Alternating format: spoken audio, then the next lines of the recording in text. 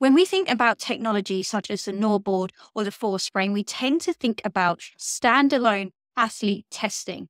But now Vald's new training mode feature permits you to add objectivity into the training process and use training as testing and testing as training. I'm Jo Clubb, founder and sports science consultant at Global Performance Insights. And in this video, we're going to be talking about Vald's training mode and how you might use it in your setting with both Force Frame and NordBord.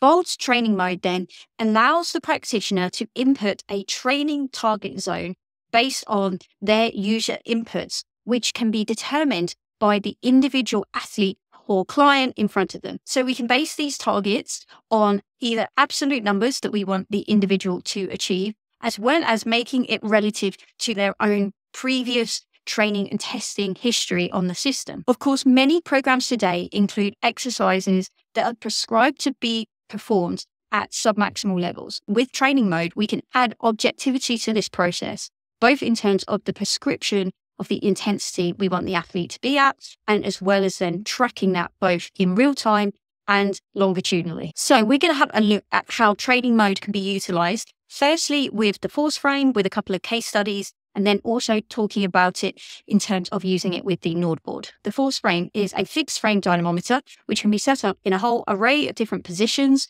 in order for us to test isometric strength across different joints, different muscle groups, and at different angles as well. And this technology has come up in a number of my different videos talking about hip and groin strength, shoulder strength, and calf strength, for example. So let's take a quick look at how training mode works with this particular piece of technology.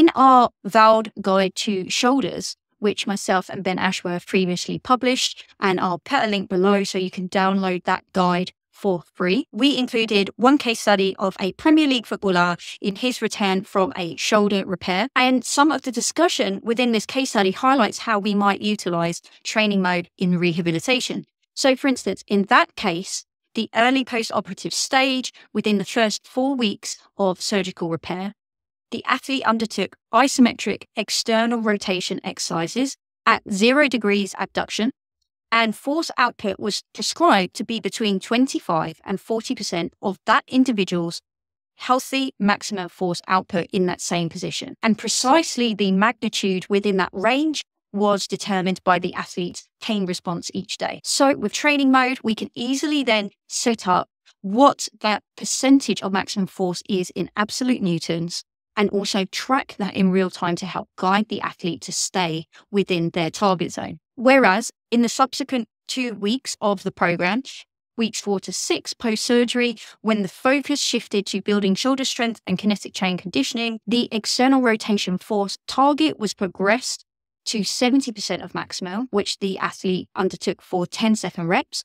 And then there was also internal rotation exercise introduced in which the target was set at 50% of that individual athlete's maximum force. Another case study provided by Matt Witt, and Matt is a physical therapist and business development manager for Vald, who's previously worked in baseball as a PT for the New York Mets and the Cleveland Guardians. And Matt provided an example of a conservative rehabilitation of a baseball player with a partial tendon tear. And you can see here the progressions in range of motion, the percentage peak force and the intensity of the isometric strength targets, the position changes, as well as the time evolved over the course of the rehabilitation from injury to return to sport. Early on in that early protected phase, in a very low risk position. The athletes were aiming for only about 10 to 20% of their maximum force in an inner range position. So, again, that arm by the side. As rehab progressed, then the intensity of the isometric exercises increased to medium,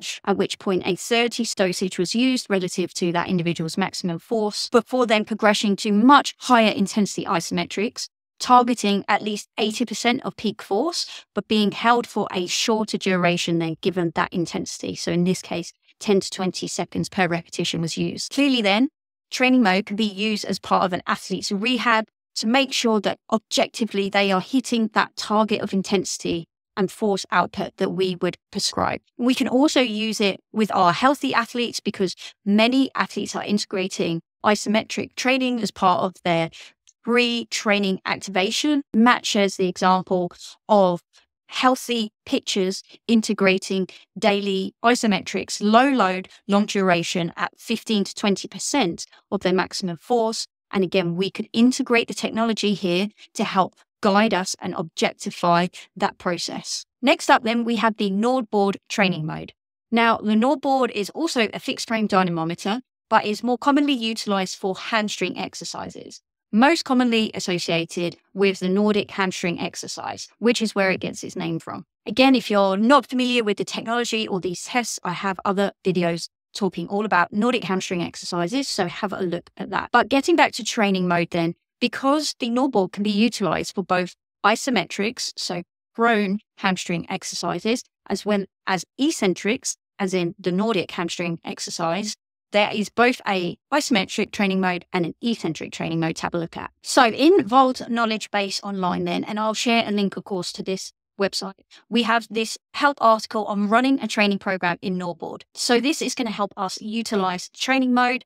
You'll see now on your iOS app that you have both a training and a testing option. So in this case, we want to utilize training. You'll see here the training setup in which you can access or create a new training program which you prescribe the exercises that you want. If you go into the details of each training program, then you get this screen in which you can see the specific exercises, the targets that have been set with a plus or minus percentage range for your target range, and what newtons of force that that percentage equates to for your target zone, and then also your prescription in terms of your reps and your mm-hmm. rest time and your work time. Then, depending on the exercise, we get different interface. So, here we can see an example of the eccentric training program.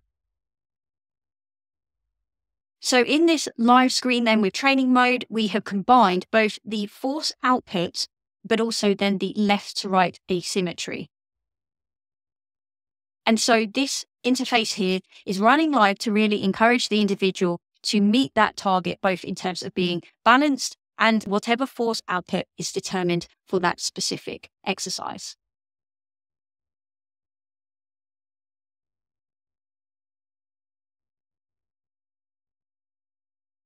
So that's the example with the eccentric training program in which the athlete is aiming for that training zone. And here we have the example with the isometric training program. So perhaps this is your ISO prone test, or in this case here, we have an ISO 30 test. We can see now that because the focus is about remaining in this green training zone for the specified time.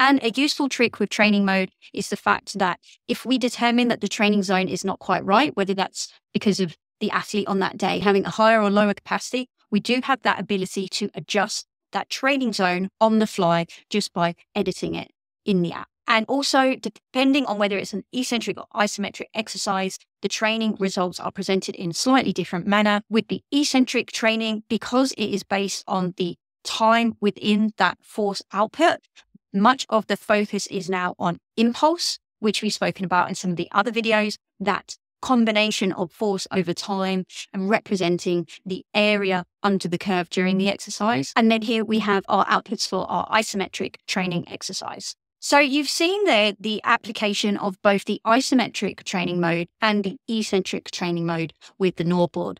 But now I want to highlight a blog post that I will link to below, written by Dr. Morgan Williams, where he is showing us how we can actually combine the data from these two different tests to help guide our programming and our execution of these exercises. So when an individual executes the Nordic hamstring exercise, the goal is to provide an adequate eccentric training stimulus. Now, I'm sure we've all seen individuals who just utilize gravity to help drop to the ground in their reps of the Nordic. So really, we want to utilize our live data from the NordBord to ensure that that adequate eccentric training stimulus is being met on every rep. So Dr. Williams proposes that you can use the peak force an individual achieves on the isoprone test as your minimum, your target threshold on the Nordic hamstring exercise. So as we've discussed previously, based on the, the force velocity relationship,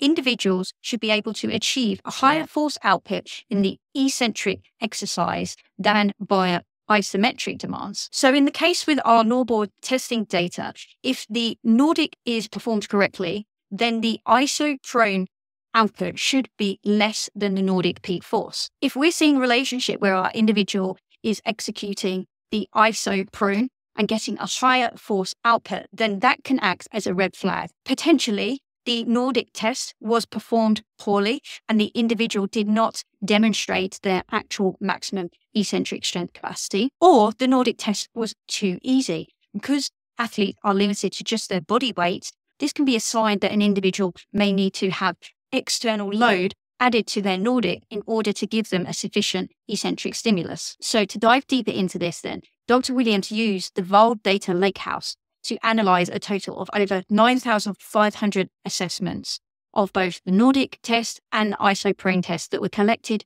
for various individuals on the same day. He found a positive correlation for both male and female groups with an R value for the male subjects of 0.63 and for females of 0.59. The analysis also showed with the male sample, there was a negative correlation between the Nordic peak force and the isoprone peak force. And the difference between the two tests is reduced with a higher isoprone peak force. Crucially, the line of best fit crosses zero at 530 newtons. And this is the point at which the mean Nordic peak force is equal to the mean isoprone peak force on average in this selection. This suggests then this could be a threshold for when an individual reaches that level of strength it would be an appropriate time to add external load to the Nordic hamstring exercise as a body weight Nordic is no longer able to provide a stimulus greater than can be produced under isometric conditions. This force level in the female population was at 420 newtons. So that may be for female subjects the point at which external load needs to be added to the Nordic hamstring exercise. In summary, then, because we know that athletes should have a higher capacity for force output in eccentric conditions than isometric. We can combine our athletes' isoprone force outputs with their Nordic hamstring exercise outputs. And in the case where the Nordic test is not higher than the force output of the isoprone, this can be a flag that either an individual has poor eccentric strength, they may be not conducting the Nordic exercise appropriately, or it could be sign of this ceiling effect where they've maxed out their strengths in this exercise that's limited by body weight and external load should be added. The new training mode as well further enhances our application of setting these targets and tracking them in real time. Thank you for watching this video. I hope you found it useful. If you did, then have a look at our athlete testing series in collaboration with Vald Performance. And do like and subscribe to the channel so you don't miss out on another Sports Science Insights video coming soon.